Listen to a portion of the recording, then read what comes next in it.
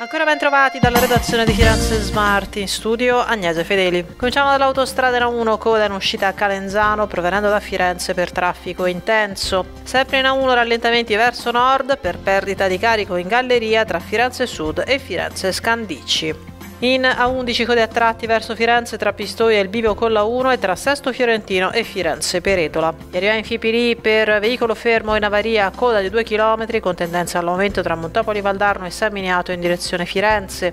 Trova inoltre coda in uscita a Santa Croce per chi proviene da Firenze per viabilità esterna che non riceve. In Fibili segnala inoltre la chiusura dell'uscita di Livorno Aurelia provenendo da Livorno per lavori fino alle 18 di questo pomeriggio. Prima di salutarci per il traffico urbano di Firenze, tra i lavori al via in settimana con provvedimenti di mobilità segnaliamo quelli di asfaltatura in Viale Etruria e quelli di manutenzione di pozzetti in Via Mariti e Viale Redi. Muoversi in Toscana Info è un servizio in collaborazione con Regione Toscana, Città Metropolitana di Firenze e Comune di Firenze. Per ora è tutto, buon viaggio.